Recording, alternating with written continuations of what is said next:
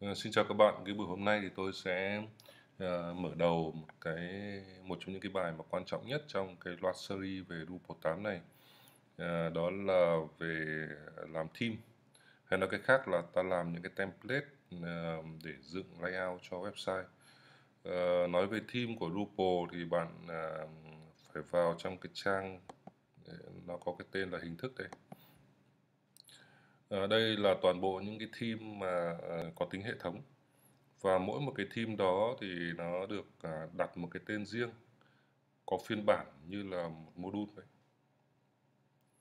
Các bạn thấy không? Đây là Batik Seven Stark. Tất cả những cái theme này thì đều được cung cấp bởi Drupal Core mặc dù thì nó khá xấu. Um, nhưng mà nó được thiết kế ở mức đơn giản nhất có thể để giúp người dùng có thể uh, bắt đầu nhanh uh, một cái dự án. Như ở đây thì tôi cũng đã chuẩn bị sẵn một cái theme uh, ở mức căn bản nhất thôi.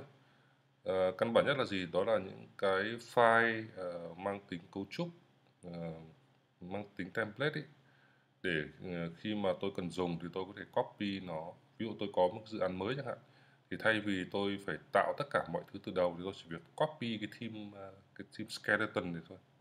Gọi là skeleton đấy tức là một cái bộ xương. Ờ, tôi chỉ cần copy cái bộ team này sang cái dự án đó và tôi điều chỉnh tên này. À, tôi điều chỉnh lại những cái reason à, phù hợp cho cái dự án đó này. Vân vân và vân vân là tôi có thể bắt đầu ngay vào công việc của mình chứ không cần phải à, tạo mọi thứ từ đầu. Thì đây là cái team mà tôi đã copy vào trong cái trang Drupal 8 này rồi. Ờ, việc ờ, ờ, tiếp theo ấy, thì tôi chỉ cần phải cài đặt nó thôi. Tuy nhiên thì ở đây bạn thấy là cái theme này đang báo là uh, nó cần phải có bút chat. Cần phải có theme chat tại sao vậy? Là bởi vì cái theme này của tôi này uh, ở trong cái phần khai báo định nghĩa chút nữa tôi ta sẽ đi một tour uh, tất cả những cái cấu trúc file làm nên một cái theme. Đấy, nhưng mà ở tại giai đoạn này thì um, hiểu nôm na là nó đang nó đang require tức là nó dựa vào cái theme bootstrap để chạy. Thế nhưng mà cái theme bootstrap thì hiện tại chưa có trong hệ thống này ta chưa install nó. Chính vì vậy mà tôi, ta sẽ phải install cái theme bootstrap trước đã. Thì bây giờ tôi sẽ install ngay.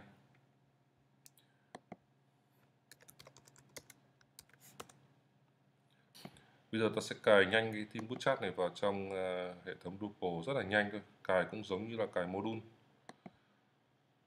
ta chỉ cần phải copy nó cái link này copy nó.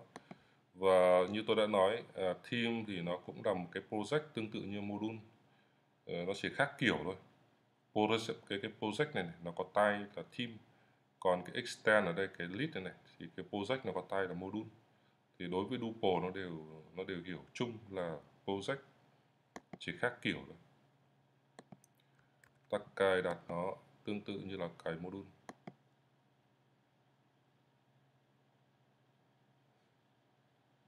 rất là nhanh ta đã cài xong rồi.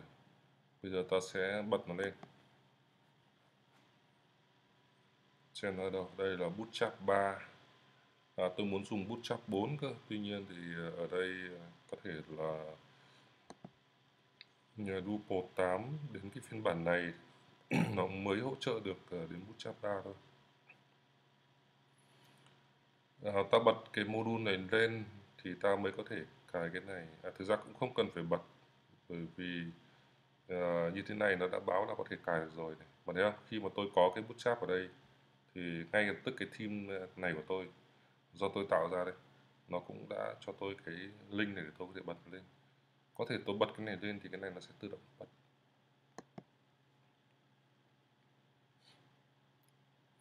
Thế như vậy là tôi đã cài xong theme của tôi và đặt nó là mặc định luôn.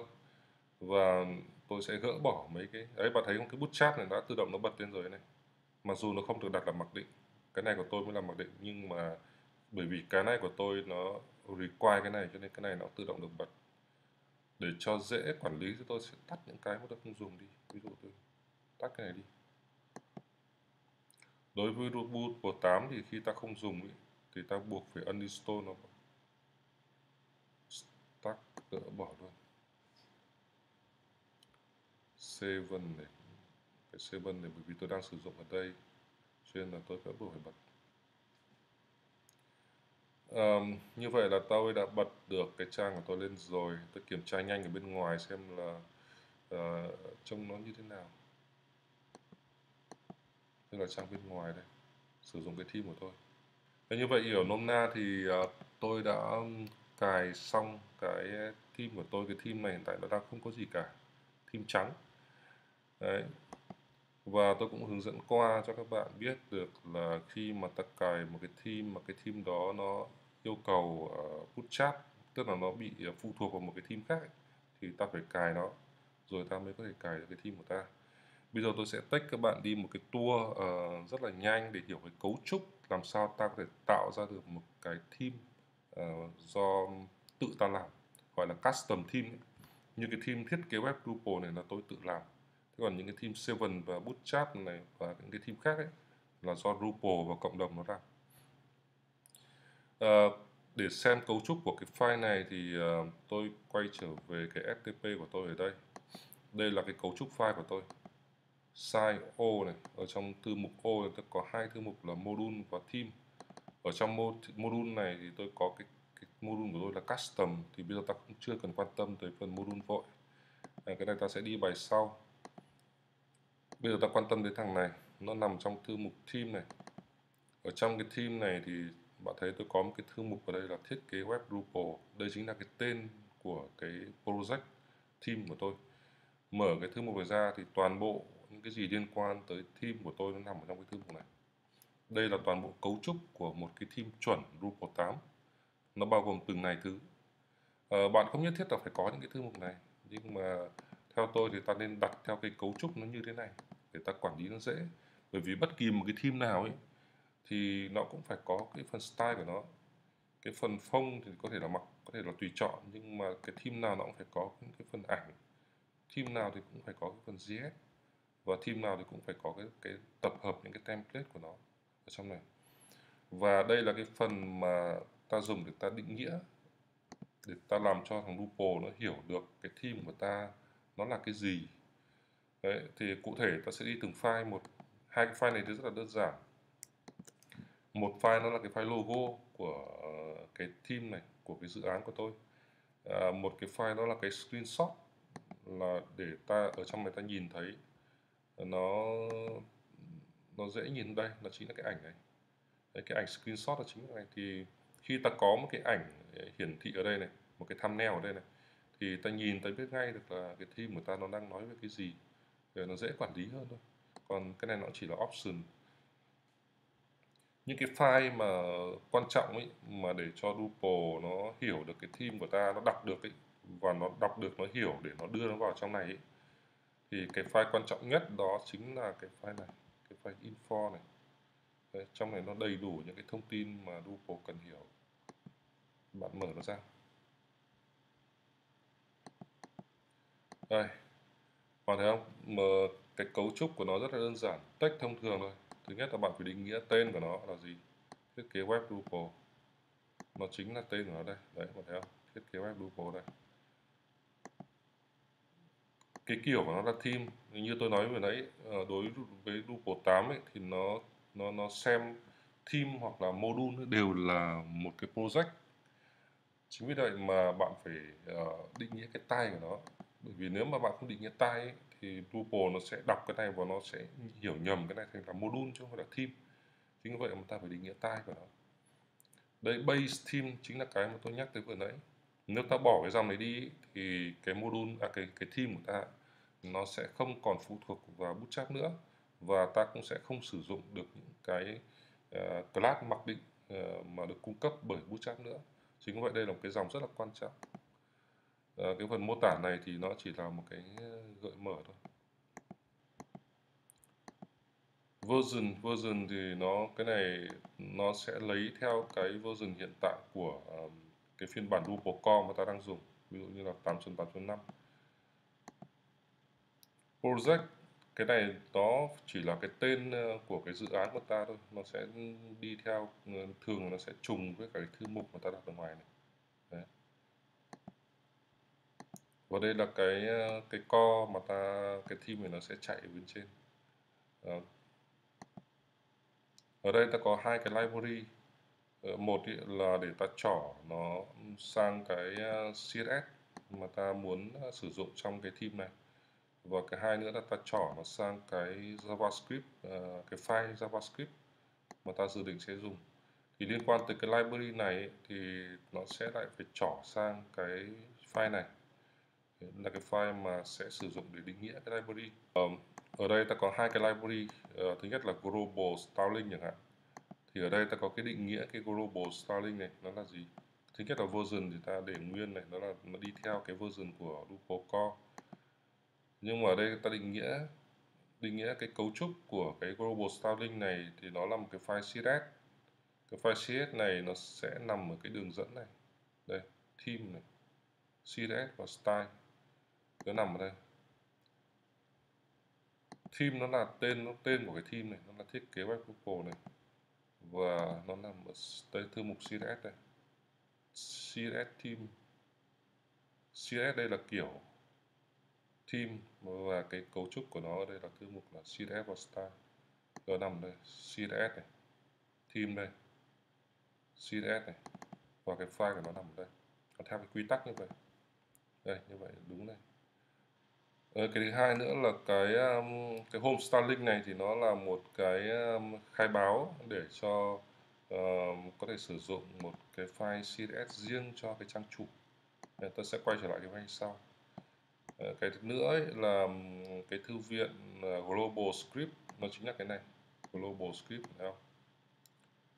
Đấy, thì cái khai báo này nó uh, cho phép ta trỏ tới một cái file JS được có tên là script.js ở đây. Thì cái đường dẫn của nó tương tự như thế này thứ nhất là kiểu là kiểu JS và thư mục là thư mục JS đây thư mục JS đây. Không? thư mục JS của nó chính là cái file này Đấy. cái nội dung của file ta sẽ quay trở lại sau À, và ngoài ra thì ta cũng định nghĩa thêm được là cái file JS này nó sẽ phụ thuộc, à, tức là cái, cái thư viện ờ, uh, JS này nó sẽ phụ thuộc vào gì? Nó sẽ phụ thuộc vào ờ, một số cái thư viện của Drupal.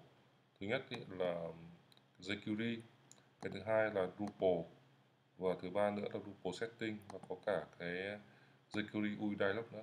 Thì đối với Drupal từ những cái phiên bản trước ấy thì ừ, jQuery và jQuery UI này là nó đã đều được tích hợp vào trong core rồi. Cho nên là ta chỉ cần phải khai báo và sử dụng luôn chứ ta không cần phải download hoặc là ta import từ cái nguồn bên ngoài nữa.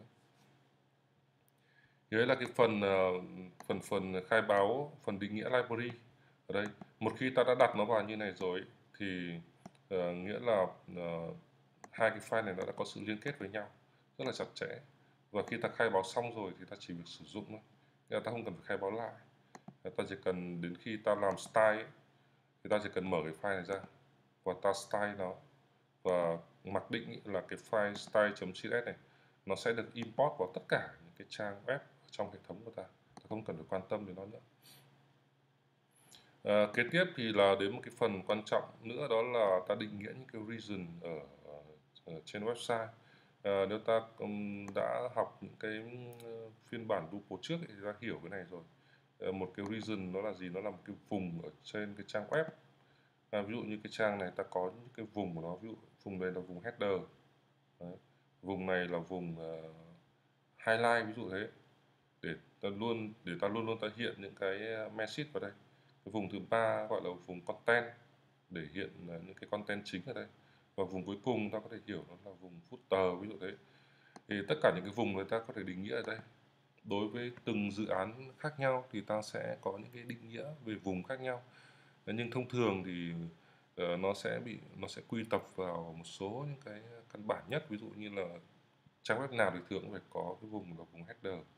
Cái thứ hai là vùng navigation là đặt cái menu chính.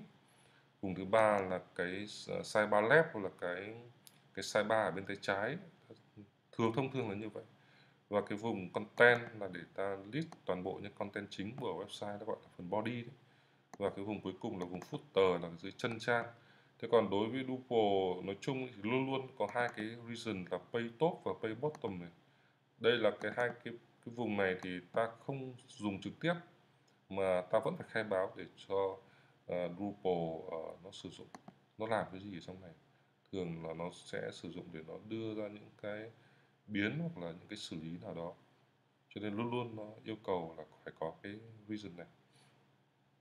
Thì đấy là cái file .info là cái file mà rất là quan trọng và cái file này nó cung cấp cho Drupal ờ, đầy đủ những cái thông tin căn bản nhất để Drupal nó hiểu cái team của ta là về cái gì uh, phiên bản bao nhiêu tên là gì cần dùng những cái library nào có những cái reason nào khi mà ta có đầy đủ thông tin rồi, có những cái reason này rồi, thì Drupal nó mới hiển thị được lên đây.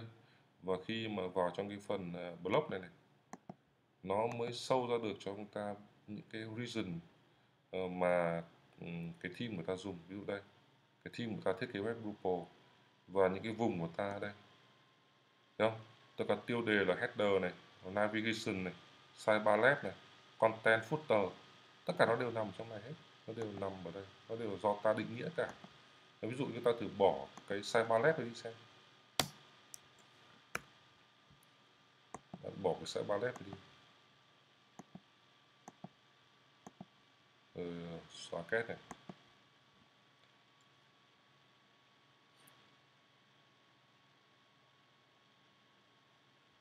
Ở đây bạn kiểm tra lại bạn thấy nó mất ngay đấy nhá. Bạn thấy là nó đã mất cái size palette rồi nó chứng tỏ là gì? Chứng tỏ là mọi thứ uh, hiển thị ở đây là đều do ta định nghĩa ở đây cả.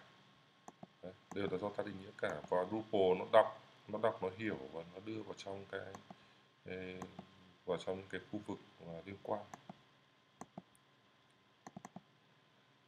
Thì đấy là cái file thứ nhất mà bạn cần quan tâm. Cái file thứ hai là library này thì tôi vừa giải thích ở đây rồi. Nó là gì? Nó là nơi ta định nghĩa những cái thư viện mà ta sẽ sử dụng trong cái dự án của mình.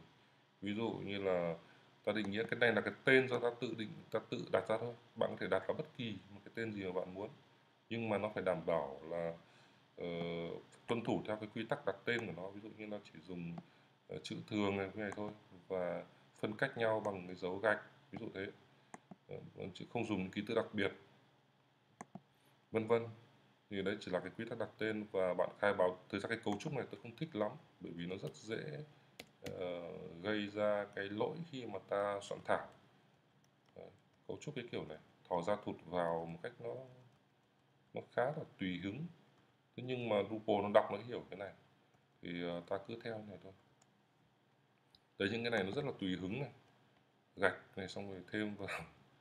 Đấy, nhưng mà Drupal nó hiểu thì mình thôi đành chấp nhận thôi. Thì đấy là cái library. Và library info này nó link với nhau khi bạn khai báo cái library này rồi bạn phải link nó vào trong cái file info này. Nếu bạn không link nó vào đây sử dụng cái cái phương pháp này cái cái cú pháp này thì mọi thứ bạn định nghĩa đây nó thành vô nghĩa. Đấy. tất nhiên là cũng có một số phần bạn định nghĩa ở đây rồi và bạn có thể import nó vào trong uh, một cái trang nào đó của bạn. Ví dụ như là bạn import ờ, cái này vào trong trang home thôi.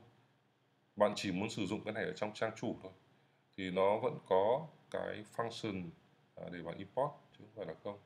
Còn những cái mà bạn định nghĩa trong phải info này định nghĩa đây này thì nó có tác động toàn cục.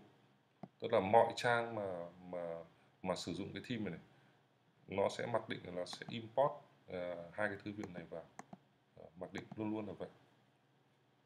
Tiếp tục thì bạn tìm hiểu tới cái file breakpoint này là cái file nó không quan trọng lắm có được mà không có cũng được. Nó chỉ là nơi để ta định nghĩa uh, responsive này ví dụ ở đây thì ta có hai cái chế độ. Một là chế độ mobile. Uh, nó như này. Và thứ hai nữa là chế độ dùng cho desktop. Thì cái chế độ này nó sẽ bật tắt ờ, khi mà nó thỏa mãn cái điều kiện ở cái chỗ này media query này.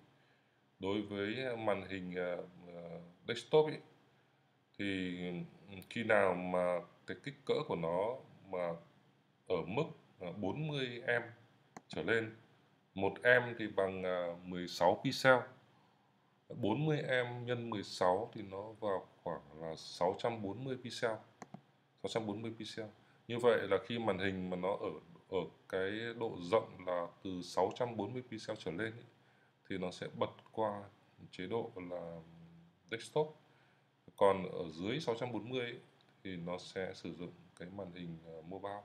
Thì cái này nó chỉ là định nghĩa cho uh, phần uh, responsive uh, ta có thể bỏ qua cái này cũng được bởi vì là khi ta đã dùng bootstrap rồi ấy, thì ta đã có cái giải pháp làm responsive riêng không liên quan nhiều đến phần này. Hoặc là ta dùng CSS3 thì ta có thể định nghĩa những cái này ngay ở trong file style rồi ta không cần. Một cái file cuối cùng cũng rất là quan trọng đó là file thiết kế web drupal.theme thì đây nó là cái gì? Cái đây nó là file uh, function nó chứa những cái function để cho ta có thể hook được vào trong những cái xử lý uh, template của Drupal. Uh, tất cả những cái uh, function ở trong này đa phần nó đều là những cái uh, hook. Tất nhiên bạn cũng có thể tạo những cái function uh, custom ở đây nếu bạn muốn nhưng mà uh, quy tắc chung ấy, thì trong này chỉ nên chứa những cái hook thôi ở đây ta có thể nhìn thấy nhanh những cái hook ví dụ như là hook vào trong cái HTML này. Tức là khi mà Drupal nó xử lý uh, cái file HTML cái file gốc của nó cái file cái file gốc của mọi cái file đây. Cái file này trong tất cả template đều nằm trong này hết đấy.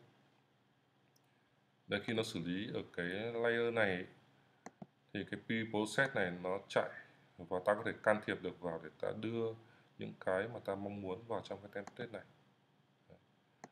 Uh, tiếp tục nữa thì uh, ví dụ như ta có thể can thiệp uh, vào cái xử lý block ta cũng có thể can thiệp vào những cái xử lý pay ta cũng có thể can thiệp vào những cái xử lý nốt vân vân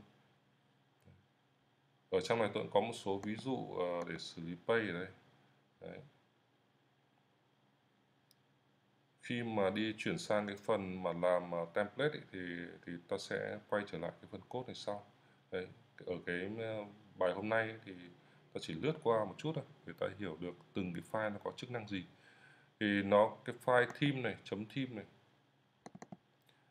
uh, nó có chức năng là nó chứa những cái function để hook vào trong uh, Drupal core. Uh, và qua đó thì ta có thể can thiệp để điều chỉnh uh, những cái template uh, hệ thuộc hệ thống ấy. Nó có những cái biến hoặc là có những cái class hoặc là có abc gì đó theo ý ta. Khi mà khi ta đã hút được vào rồi là ta có thể điều chỉnh được tất cả mọi thứ ở trong đó theo ý ta và đó là một cái điểm cực kỳ mạnh của Drupal mà không một CMS nào ở trên thế giới này nó có thể làm được cái điều đó. WordPress thì không bao giờ có thể làm được. Rồi Joomla thì một cái cũng đã chết rồi. Thế ngoài ra thì những cái CMS khác thì nó chỉ là thiết kế ra để cho một mục đích riêng nào đấy thôi chứ nó không được cái tính tổng quát uh, như là Drupal và tiếp tục uh, như vậy là chúng ta đã đi có nhanh qua được một số những cái file căn bản uh, um, ở đây rồi. Và những cái file này thì tính chức năng của nó là để định nghĩa ra một số những cái thông tin để Drupal có thể đọc hiểu được uh, cái theme của ta nó nó là cái gì nó chứa những cái gì và nó liên kết tới những cái file nào uh, vân vân vậy thôi. Um, bây giờ tôi sẽ đi nhanh vào từng cái thư mục này. Thư mục CSS này thì để chứa cái file style ta biết rồi thư mục phông này thì ví dụ như cái theme của ta uh, nó dùng những cái phông đặc biệt những cái Google phông hoặc những cái phông nào đặc biệt mà nó không uh, không có sẵn ở trên máy của người dùng ấy, thì ta sẽ phải đưa vào đây. Ta đưa những cái phông chu tay vào đây và ta phải dùng ờ, uh, CSS ở đây. Ta import nó vào. Thì import thì ta dùng thẻ CSS như bình thường thôi nhưng mà toàn bộ những cái phông đó thì ta chứa nó vào trong một cái thư mục riêng như thế này thì để nó để đảm bảo cho cái cái cấu trúc cái team của ta nhìn nó khoa học gọn gàng. Cái tính organize của nó đấy nó gọn gàng nó cấu trúc. Và khi ta thay đổi điều chỉnh nâng cấp gì đó thì ta biết ngay được là uh, ta cần phải vào đâu để ta tìm. Image này thì như tên gọi nó nó sẽ là nơi để chứa toàn bộ những cái gì liên quan tới image. Ví dụ một cái template của ta một cái website của ta thì khi ta cắt nó từ file Photoshop ra ấy, nó sẽ rất nhiều những cái hình ảnh ở trong đó thì toàn bộ những cái hình đó ta phải đưa vào đây ta chứa đây chứ ta không thể nào ta đặt bên ngoài này. Nó sẽ rất là lộn xộn. 100 cái ảnh, 1000 cái ảnh nó sẽ phải tất cả nó phải đưa hết vào đây. Nó chứa tại đây. Và CSS ở đây ta có thể link vào đây. File template ở đây nó có thể link vào đây. Tất cả ta đều dùng cái đường link đường đường liên kết à, relative đường liên kết phụ thuộc ấy. Chứ ta không bao giờ dùng cái đường link à, absolute. GS là nơi chứa cái file script mà ta đã khai báo ở trong cái file .info vừa nãy. Ở trong cái file script này thì nó nó đơn thuần chỉ là một cái file jQuery thôi. Tất nhiên thì đây nó là một cái file jQuery mà chạy ở trong hệ thống Drupal. Chính vì vậy mà cái phần khai báo này của nó nó đặc biệt một chút. Thế nhưng mà ngôn ngữ security thì nó hiểu cái này. Toàn bộ những cái khai báo này thực chất nó chỉ là để cho nó tương thích với cái um, Drupal.js core thôi. Và khi ta khai báo như này rồi thì ta gọi nó là native với Drupal. Drupal nó hiểu cái đoạn mã này và nó đưa vào trong cái cái cơ chế vận hành của nó. Cái thiết kế web Drupal này thì thực chất nó chỉ là một cái namespace thôi. Ta đặt nó một cái tên mà để đảm bảo là nó sẽ không bị trùng lặp với những cái tên khác do những cái module khác cung cấp. Nếu mà nó bị trùng lặp thì nó sẽ dẫn tới xung đột còn ở đây thì là một cái đoạn mã của tôi. Uh, mục đích của tôi đưa cái đoạn mã này vào là để cho uh, cái phần code JS nó không bị loop nó không bị chạy đi chạy lại uh, trên cùng một trang. Đấy. còn toàn bộ cái phần sau này khi mà ta làm code ý, thì toàn bộ code ta sẽ đặt ở đây. Set code here. Toàn bộ code nó sẽ nằm ở đây. Đấy, như vậy là file JS nó đơn giản như vậy thôi à, về sau này khi ta cần cốt một số thứ thì à, tôi sẽ quay trở lại chỗ này sau.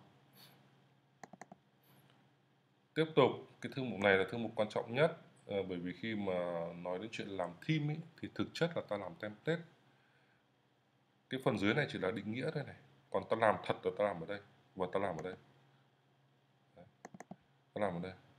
Thì toàn bộ uh, ở đây nó chứa cái template mà được sử dụng trong cái theme của bạn template của nó rất nhiều template. Template cung cấp bởi Drupal Core. Ví dụ như là đây là một cái template cung cấp bởi Drupal Core. Thì tôi copy nó vào đây là bởi vì tôi muốn điều chỉnh thay đổi nó. Tôi muốn điều chỉnh thay đổi nó theo ý của tôi thì tôi copy nó vào đây để tôi thay đổi. Thế còn nếu mà tôi không muốn thay đổi cái file này thì tôi nên xóa đi. Khi mà tôi xóa cái file đi thì uh, Drupal nó sẽ lấy cái file mặc định mà nằm trong phần phần core của Drupal ấy, nó sẽ xử lý. Thế còn nếu mà nó nhìn thấy có một cái file đấy thì nó sẽ sử dụng nó sẽ xử lý cái file này.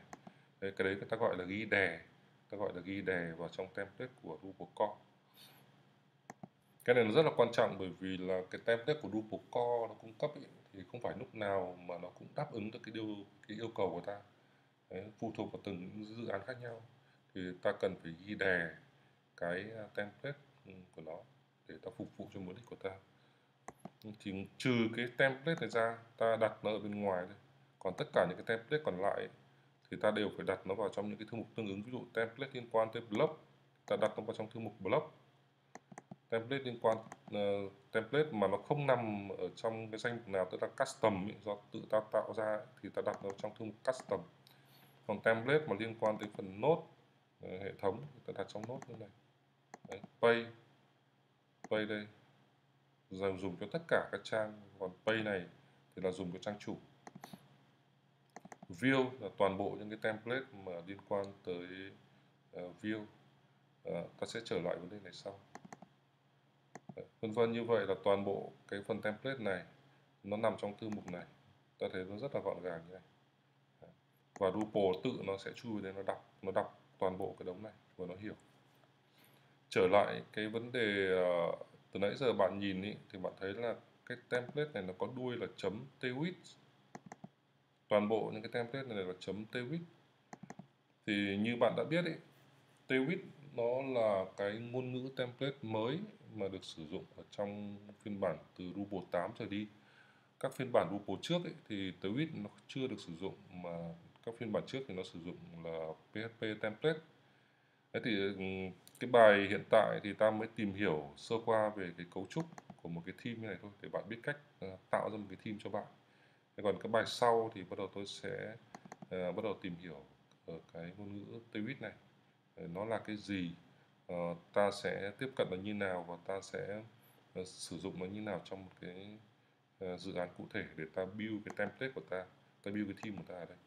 Hiện tại cái theme của ta nó hiện rất là xấu như này bởi vì là ta chưa làm gì cả nó đang là một cái theme trắng. Đấy, nhưng mà ở bài kế tiếp ý, thì ta bắt đầu sẽ thử uh, cấu hình nó theo ý ta một chút xem như nào. À, xin cảm ơn các bạn.